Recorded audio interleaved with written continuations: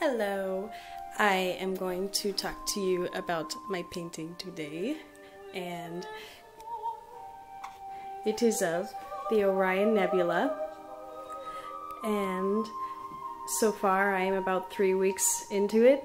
It's in oil, and it's rather large. this is going to be the first of many, which I'm very excited about. Um, not quite done with the stars, but I have quite a few already. I like this one especially. It's spinning.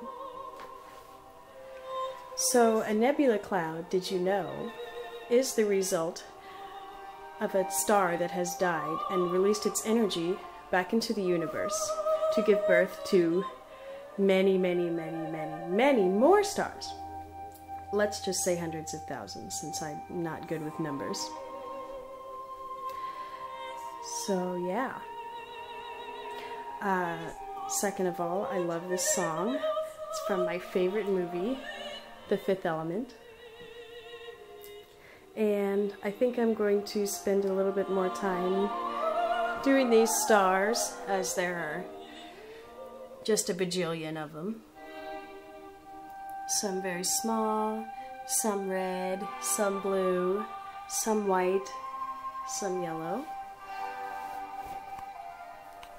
And that's all I have for you today because this is my first video blog ever. And it's going to be an exciting experience. Thank you.